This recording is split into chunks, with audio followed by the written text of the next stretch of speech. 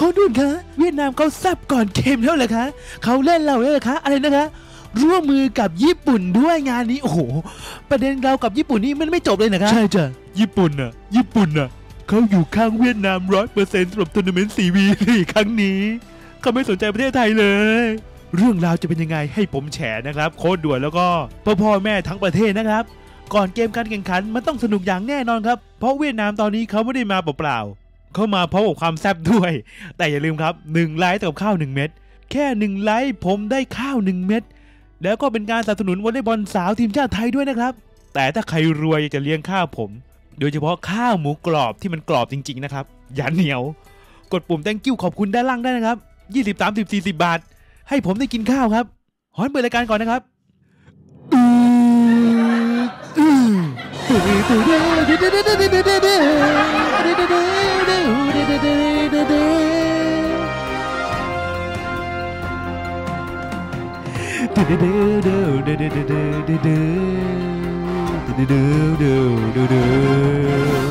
แหมเวียดนามเนี่ยครับเขามาแข่งกีฬาเจอกับทีมชาติไทย ในทุกประเภทกีฬาครับเขาก็ต้องบิวอัพคนในประเทศเขาก่อนทุกครั้งครับ เพราะว่าไทยเนี่ยทั่วเป็นศัตรูตัวฉกาจของเวียดนามเขาแหมสื่ออย่างไอเดอเต่าดอทเวียดนามครับเก็บพาดหัวข่าวนี้ครับว่าดังดังชูเดฟอินโดนีเซียทูเย็นบองชูเย็นหนูไถลาน ดูเวียดนาม โอชูเคตซีวีลิก2023เนี่ยแปลว่าอะไรครับ เขาบอกว่าไทยเฉือนอินโดนีเซียเท่านั้น ก่อนที่จะปะทะกับเวียดนามรอบชิงชนะเลิศในซีวีลีก อืมอะ อีกสักสื่อหนึ่งโชว์หัวข้อกันนะครับ HIV HIV ถูเย็นบ้องถูเย็น หนูไทยแลนด์คุกดกกบก้อยหูเวียดนามแปลว่าอะไรครับ แปลว่า โค้ชวอลเลย์บอลทีมชาติไทยครับ บอกครับว่า ไม่ประมาททีมชาติเวียดนามครับ อืมเพราะเขาเก่งก็เลยไม่ประมาทยังไงล่ะ แหม อวยทีมชาติตัวเองแล้วก็โจมตีทีมชาติไทยเล็กน้อยครับ เรื่องราวของวอลเลย์บอลทีมชาติไทยเนะครับ จะเจอกับเวียดนามใน ครั้งที่ 2 ในรอบ 1 เดือนแล้วนะครับ เจอกันบ่อยมาก แต่งานนี้ไทยอยากจะถล่ม เวียดนามก็อยากจะถล่มเรานะครับ แต่อย่าลืมว่าที่นี่คือเมืองไทยครับพ่อแม่ครับ เกมเมื่อวานนะครับ เริ่มแข่งกันตั้งแต่บ่ายสามโมงนะครับ เลื่อนมาจาก6โมงเย็นครับ เพราะว่ามีงานวันแม่ครับ ผมก็ลืมไปว่าวันแม่ 12 สิงหานี่เอง โถดูดิครับ คนดูยังเต็มสนามนะครับ เพราะว่านักกีฬาเนี่ยครับ คนอยากดูกันเยอะมาก แย่งชิงตั๋วกันตลอดนะครับ แค่ซ้อมวอร์มโอ้โหบางคนเนี่ยไม่มีตั๋วนะครับ บางคนเนี่ยมีตั๋วแต่ไม่มีที่นั่งนะครับ ต้องมายืนแงวแงวอยู่ข้างบนผมงงมากว่า มีคนเกินอย่างแน่นอนสำหรับการแข่งขันครั้งนี้สำหรับคนดู คนเนี่ยเต็มปักเลยครับ ไม่เหลือที่นั่งแล้วนะครับ แล้วบางคนเนี่ยต้องยืนนะครับ มุมบนบนๆเนี่ยตามทางเดินนะครับ ไม่รู้เหมือนกันว่าเกิดอะไรขึ้นนะครับโอ้โหประสบความสำเร็จมากนะครับที่เชียงใหม่ นี่ขนาดเจอกับอินโดนีเซียนะครับ ทีมที่ขนสำรองมาคนยังดูเยอะขนาดนี้ครับ เต็มทุกแมตช์แน่นอนแล้วครับ ตอนนี้ครับ เต็มถึงขนาดที่เตยหัทยานะครับ ไม่ได้มีชื่อแต่ต้องขอมานั่งข้างล่าง เพราะว่าข้างบนเนี่ยไม่เหลือที่นั่งแล้วครับ เธอเลยมานั่งข้างล่างตรงนี้ครับ เก๋ไก๋อีกแบบหนึ่งฉลองวันเกิดข้างล่างมานั่งตรงนี้ทำไม ดูเงาๆนิดนึงนะครับแหมเจ๊เตยครับฉลองครบอายุ 30 ปีพอดีนะครับสำหรับเธอเนี่ย เธอก็เลยได้สิทธิ์ในการพักผ่อนนิดนึงครับ เกมวันนี้นะครับแล้วก็ได้เห็นโค้ชหลายคนนะครับ นี่ครับ ทั้งเจ๊ชมพู่ก็มาเป็นโค้ชให้กับน้องยูฟ่าอาจารย์หนานก็เป็นโค้ชให้กับใครครับ แล้วนี่ครับน้าด่วน แกก็โคชชิ่งอยู่ครับโห พี่สอนน้อง ปู่สอนลูกโหนี่ครับนี่ครับมีการปรึกษานี่น้าด่วนคุยกับเจนุชนะครับ จะเอายังไงต่อดีกับชีวิต ผมควรอยู่ทีมชาติไทยไทยต่อหรือเปล่าแหมแต่เจ๊ชมพู่เนี่ยน่าจะถ่ายทอดพลังวิทยายุทธให้กับ น้องยูฟ่าได้เยอะมากแล้วนะครับ ตอนนี้ครับ เพราะว่าคุยกันตลอดนะครับนี่ เธอเนี่ยพอเซ็ตเสร็จเนี่ยผมเธอชอบปิดหน้า เพราะฉะนั้นพอเซ็ตเสร็จนะ เธอต้องเอามือปัดผมนิดนึงต้องได้ถ่าย close up ได้แล้วจะสวยแล้วมีมีโฆษณามาหาเธอแน่นอนเอ้อเข้าใจใช่ไหมได้ค่ะค่ะโอ้โหหนูเนี่ย ไม่เข้าใจไม่ค่อยเข้าใจเรื่องมุมกล้องเลยค่ะพี่ เป็นเรื่องมุมกล้องไปซะงั้นครับแหมแต่มีจังหวะหนึ่งเนี่ย น้องยูฟ่ามีผมไปปะหน้าจริงนะครับ หลังจบเกมครับพ่อแม่ครับ มีการร้องเพลงวันเกิด Happy Birthday ให้กับเตยหัทยาฉลองครบอายุ 30 ปีครับ กองเชียร์ไม่ยอมกลับบ้านครับ เพราะว่าอยากอยู่ดูนักกีฬาทำนู่นทำนี่กัน แล้วก็รอลายเซ็นของนักกีฬานะครับ นี่ครับร้องเพลงฉลองวันเกิดอยู่ครับ ดูกันชัดๆครับนี่ครับแฟนคลับเตยหัทยาก็มาครับขนาดไม่มีชื่อนะครับนี่ร้องเพลงวันเกิดกัน มาช่วยเพื่อนๆเก็บชุดครับ ฟิตมากมาช่วยเหลือทีมต่อครับ คือนักตบหลายคนเนี่ยมาเข้าแคมป์ครั้งนี้เนี่ยครับบางคนไม่มีชื่อก็ยังมาซ้อมครับ เรียกว่าซ้อมคุ้มค่ามากแคมป์ครั้งนี้ครับแถมได้มาเที่ยวเชียงใหม่ด้วยครับ ตอนบรรยากาศดีๆอยู่นี่ครับนั่นๆน้าด่วนแกก็น่ารักครับ มีของขวัญมาให้ด้วย อะไรวะเนี่ย ทองปะเนี่ย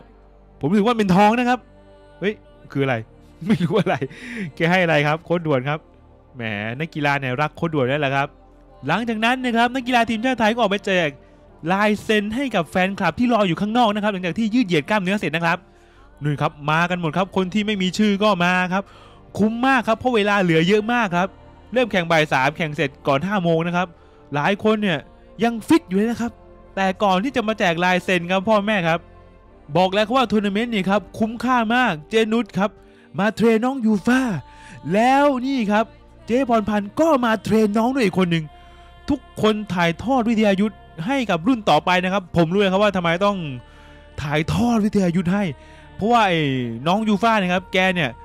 ถึงแม้ว่าเป็น setter มือใหม่ครับจากตัวหัวเสามาเป็นเนี่ยแต่ step ขาเนี่ยแกรวดเร็วมากนะครับ การเปลี่ยนตำแหน่งการเคลื่อนที่เนี่ยแกไวมากไวกว่าเจยมพู่แน่นอน แล้วก็อาจจะไวกว่าเจนุสในสมัยก่อนอีกด้วยนะครับ การเข้าถึงบอลเร็วมากนะครับ แต่เรื่องการเซตเนี่ยต้องรับวิชาเพิ่มเติมครับ แค่จ่าย 300 บาทเท่านั้นมีเวลา 68 ชั่วโมง แค่นี้ทุกคนสามารถหารายได้คนละเรื่องเลยครับ คุยกับน้องๆตลอดครับ คุ้มค่ามาก เจนุสเนี่ยไม่ใช่แค่นั้นครับ แกเนี่ยมีทั้งบูทั้งบุญมีทั้งตำราแล้วมีทั้งทางปฏิบัติด้วยนะครับ เข้าถึงนักตบได้ง่าย แล้วแกเนี่ยก็เป็นคนที่พูดเก่งมากด้วยทำให้หลายคนเนี่ยครับรับวิชาจากแกได้ตลอดเวลาครับ ไม่ต้องหวัง ไม่ต้องใช้เวลา ปรับตัวอะไรมากมายครับ นี่ครับขนาดซ้อมที่สนามซ้อมนะครับนี่ครับ เจนุสนี่ และนี่นุกนิกนะครับ และนี่คนเซตอยู่นี่คือยูฟ่านะครับ แกเนี่ยคุมการเซตโดยเฉพาะครับว่าจะเซตแนวไหนยังไงบอกทิศทางไงเข้าถึงบอลยังไงครับ เอาเป็นลายลูกลายช็อตลายวินาทีเลยครับว่าจะเอายังไงนะครับ ดูครับแต่ละคนเนี่ยควรให้บอลแบบไหนยังไง เพื่อนถนัดมาลูกแบบไหนยังไงครับหืมเธอ เธอสวยอยู่แล้ว เธอมั่นใจได้เลยในเรื่องความสวย เพราะฉะนั้นเธอเซตไปเลย เออกองเชียร์เขาอะเขาไม่มองบอลหรอกเขามองเธอ นั่นครับโอ้โหแล้วช่วงค่ำครับสองสามทุ่มเนี่ย พวกเธอก็ไม่นอนนะครับ รูปนี้ถูกโพสต์ตอนสี่ทุ่มครึ่งนะครับ ของสมาคมวอลเลย์บอลแห่งประเทศไทยนะครับ นี่ครับมีการวิเคราะห์หลังจบเกมครับว่าใครผิดพลาดยังไงบ้างครับ โดยเจนุสซาร่าครับ แกก็ขึ้นมาเป็นนักวิเคราะห์เกมให้กับทีมนะครับ นอกจาก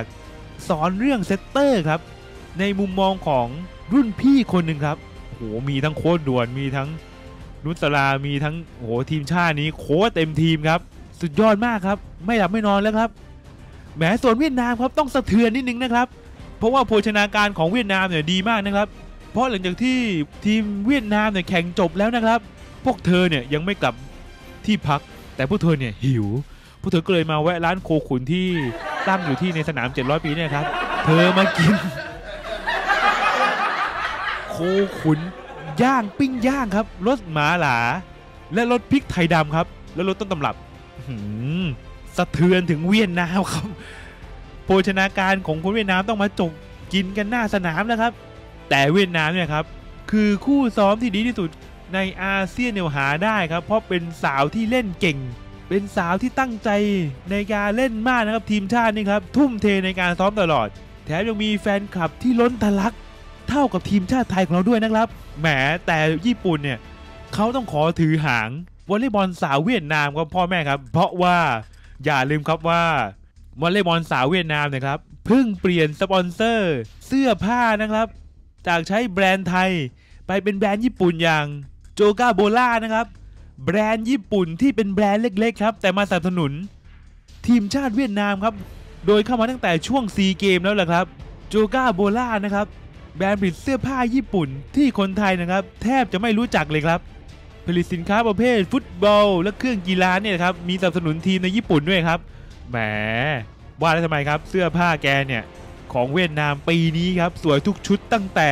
กีฬาซีเกมส์ จนไปเครื่องเอเชีย รวมถึง SEA V League เนี่ยแหละครับ ว่าทำไมเสื้อผ้าแกสวยเหลือเกิน ญี่ปุ่นเข้ามาออกแบบให้นี่เอง อย่าลืมครับ เชียร์วอลเลย์บอลไทยวันนี้ด้วยครับหนึ่งไลค์เท่ากับข้าวหนึ่งเม็ดพ่อแม่แม่ทุกคนช่วยเหลือผมพอผมอิ่มท้อง ผมก็มีแรงวิเคราะห์เกม มีแรงวิเคราะห์เกมเมื่อไหร่มันก็จะหาเมื่อนั้นแหละครับวันนี้ขอลาไปก่อนแล้วครับ เป็นไงบ้างครับ ความลับนันนี้ ใครไม่กดติดตาม ใครไม่ด่า ฝากด่า และฝากกดติดตามด้วยครับสำหรับวันนี้ สวัสดีครับ